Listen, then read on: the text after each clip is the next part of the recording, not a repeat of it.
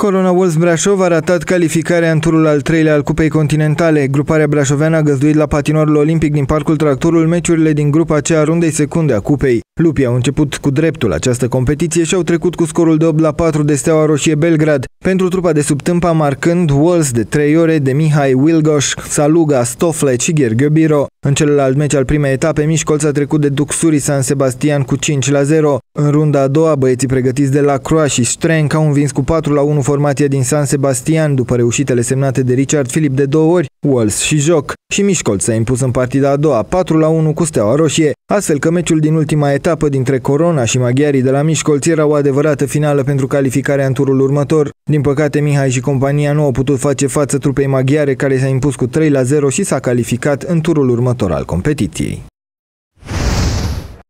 Colț 1920 își continuă parcursul fără greșeală din acest început de sezon. Băieții pregătiți de Radu Burciu s-au impus în runda a 5 în fața celor de la Ceahlăul Piatra Neamț, scor 6 la 4. La pauză 3 la 2, golurile brașovenilor fiind reușite de Țicalo de două ori, Nicodim, Răzvan Radu, Paul Isac și Adrian Călugăreanu. În urma acestei victorii, brașovenii au ajuns la 5 victorii din tot atâtea meciuri disputate în acest sezon al Ligii a doua de futsal. Colțea 1920 Brașov este pe primul loc al clasamentului și în runda viitoare se va deplasa la Oradea, unde va da piept cu localnicii de la Dinamo Leonardo, duminică 29 octombrie de la ora 17.